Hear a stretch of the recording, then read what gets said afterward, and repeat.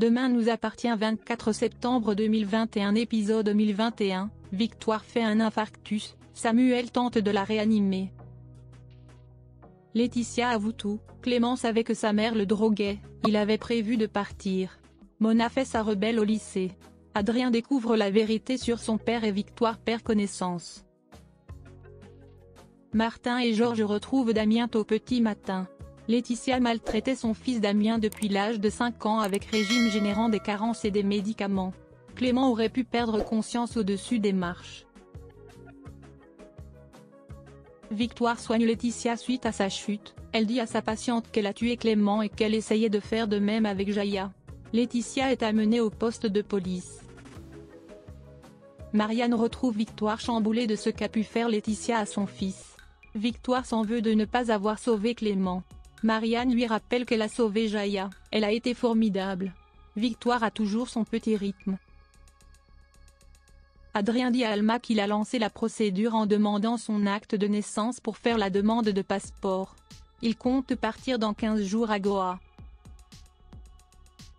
Irène dit à son mari que Laetitia, malade ou pas, elle ne lui pardonnera jamais ce qu'elle a fait. Virginie est l'avocate de Laetitia. Elle dit qu'elle essayait de sauver son fils, elle le droguait pour qu'il s'en sorte. Martin lui dit que c'est elle qui a tué Clément avec son empoisonnement.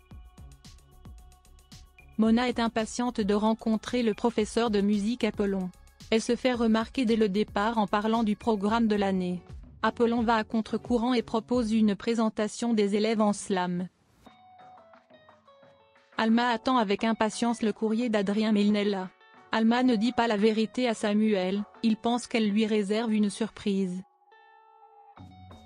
Martin vient voir Irène pour que Laetitia dise tout, en tant qu'ex-meilleure amie elle peut aider.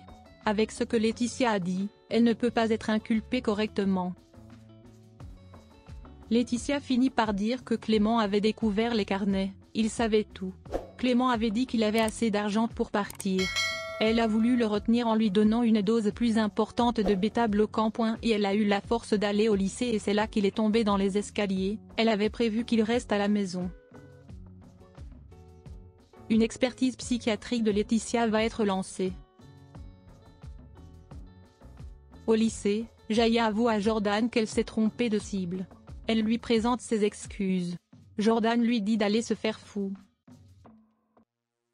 Jack raconte à Lissy qu'il a volé le passeport d'Adrien car il a paniqué pour son départ.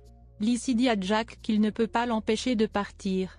Lissy conseille à Jack de faire un envoi anonyme du passeport. Mona vient se plaindre auprès de Chloé dans son bureau, elle s'installe à sa place et boit de sa tisane. Chloé remet Mona à sa place. Elle a du mal à oublier qu'elle est une élève au lycée. Chloé vient voir Apollon pour faire le point sur ce qu'il compte enseigner aux élèves. Apollon n'hésite pas à réciter les parties du programme. Chloé est rassurée. William annonce à Alma que le facteur s'est planté, il a laissé sa lettre chez lui. Et elle l'a mis à la cuisine. Quand Alma rentre, Adrien la devance. Il voit sur l'acte de naissance qu'il est né d'un père inconnu. Au départ, Adrien pense s'être trompé mais Alma est prête à avouer la vérité. Victoire sort de l'hôpital un peu patraque, elle est au téléphone avec Georges. Samuel est en train de rentrer dans sa voiture et d'un coup il voit Victoire s'écrouler. Victoire fait un arrêt cardiaque, il tente de la sauver sur le parking de l'hôpital et demande de l'aide.